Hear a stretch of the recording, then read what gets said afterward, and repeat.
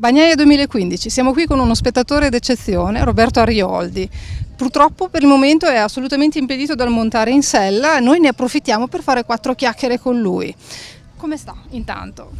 Eh, sto bene, purtroppo devo star fermo perché mi sono rotto la scapola e purtroppo ci vuole un mese per la guarigione, spero di rubare qualche giorno, per adesso sono passati solamente 15 giorni, vedremo un po' più avanti come sarà. Lo sa che tutti pensavano lei fosse già montato in sella, vero?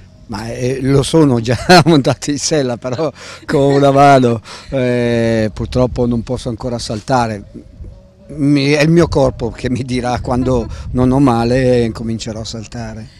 I percorsi qui sono disegnati da uno dei cavalieri più famosi, più, più, più apprezzati da voi cavalieri, Cotier. Cosa pensa del suo modo di disegnare i percorsi? Cosa si aspetta da lui qui a Bagnaia?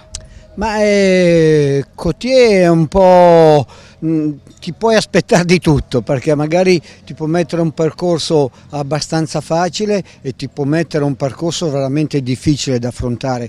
Eh, dipende dalle giornate. Io trovo che non sempre si riesce a sapere il percorso che andrai a trovare, però è un cavaliere e sa mettere le difficoltà eh, nei posti giusti. Francesca si sta preparando con i cavalli a portato ha portato l'Europeana Lorena e l'Europeana Seglia. Eh, sono due buone cavalle e penso che farà un buon concorso. Come si sta a Bagnaia? Beh, guarda, basta che alzi gli occhi e, e cosa puoi dire di meglio?